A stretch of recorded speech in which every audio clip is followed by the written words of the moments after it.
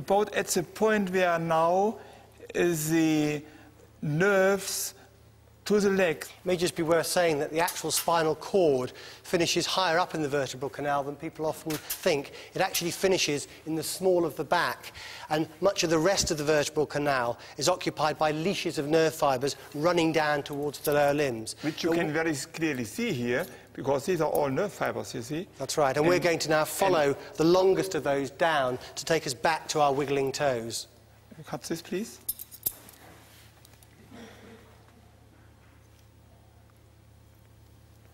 So the end, you see it very clearly, the end of the spinal cord is here, and all these are now nerves, and we follow the largest one through the sciatic nerve at the back of the thigh. Therefore, I have to remove now the gluteal muscle. But the spinal cord contains tens of millions of nerve fibres. So every minute of every day, there are tens of millions of signals passing down your spinal cord to connect with motor neurons, which move your muscles, as well as many other tens of millions of sensory impulses coming back towards the brain. It's an amount of computing power that is actually equalled by nothing else that we know. What I have to remove here is now part of the sacrum, because within the sacrum, the plexus runs down.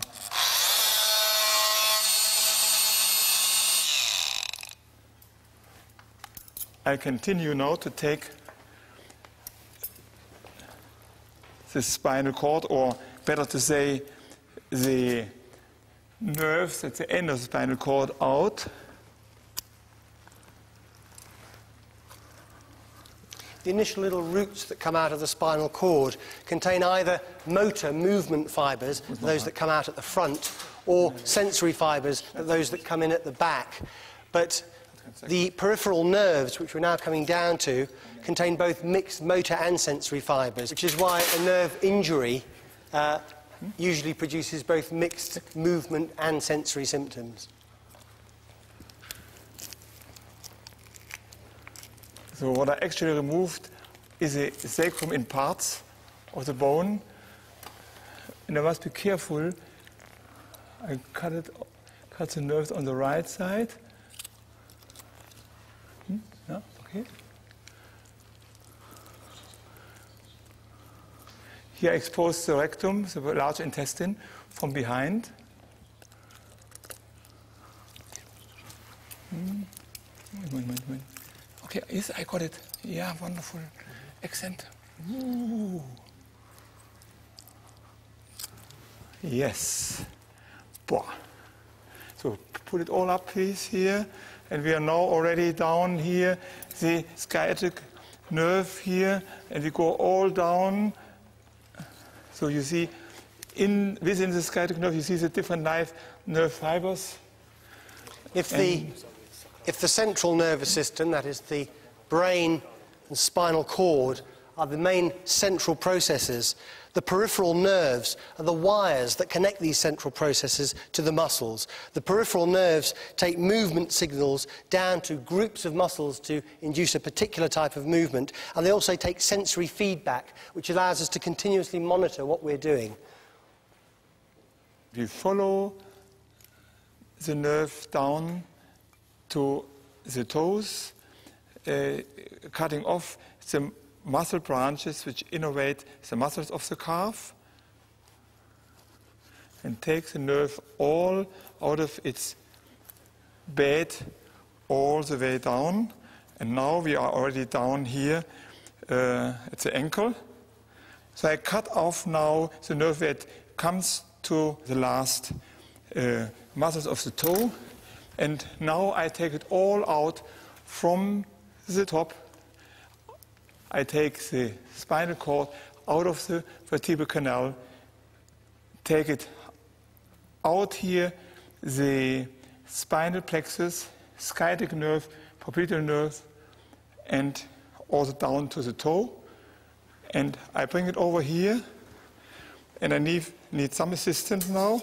I don't need this uh, machine anymore. Could you bring it away, Nadine and Marius?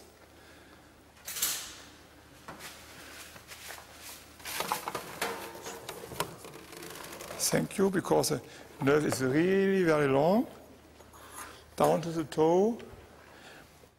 Well, let's try and give you an idea of the staggering complexity as well as the real beauty of our nerve fibre network.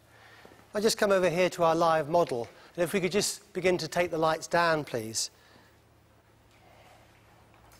So here we have projected onto Dennis's back a model of both our central and peripheral nervous systems. And so we've finally been able to show you the full journey of a thought which started with wiggling the toes up in the brain, passed down the spinal column, into a leash of nerves passing down the legs, and was then able to give the muscles in the front of the leg the signal to wiggle the toes. A movement which seemed inconsequential, but which I think you'll now agree has an amazing complexity behind it. Now we have time for some questions, please. Uh, once the heart stops to beat, how long does it take before brain cells begin to die? The brain is actually the most sensitive organ in the body to lack of oxygen, and it starts to die within a minute. Next, next question, please. Sometimes when we get a pick feeling in our skin, we say that it's a nerve ending. Is that really a nerve ending, or is it just some sensation in the skin? If, if you uh, get a sensation of pins and needles in the skin, it's because a lack of oxygen to the hand, say, because it's been in a funny position, causes the nerve fibres to fire off. And we feel that as a sensation, even though it's only actually originating from the nerve fibres. Next question. I know you said you start you did some some pre stuff to get the skin off. If the person had had more fat, would it have been harder to get the skin off? When the person would have more fat, I would need much more time, about five times as long. One more question.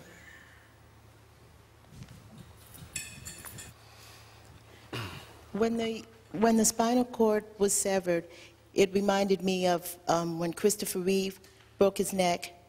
Now, in doing so, um, all of the muscles, I mean, he broke his neck, so that just severed everything for him, right? As compared to some people who are paraplegics or have some movement. Yeah.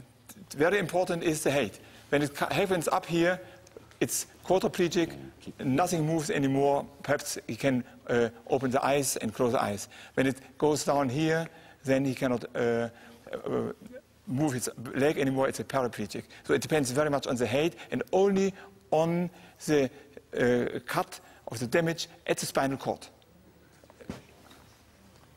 Let's assume our model now decides I want to wiggle my toe.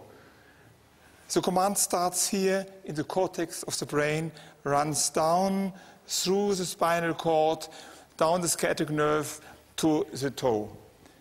And to demonstrate you this, at our model, I like now, please assistance, to go over to our model. Dennis, thank you very much for presenting yourself. So what actually happens?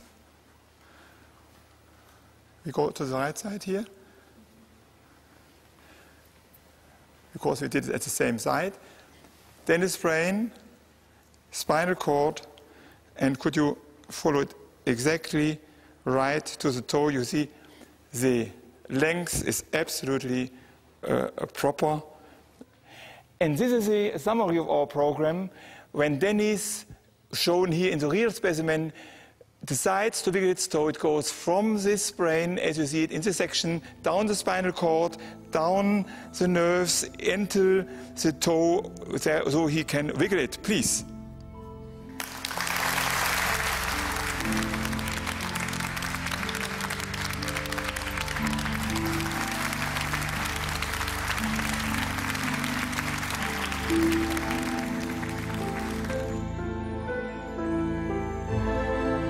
This woman's heart has beat a billion times. She also has taken a quarter of a billion breaths.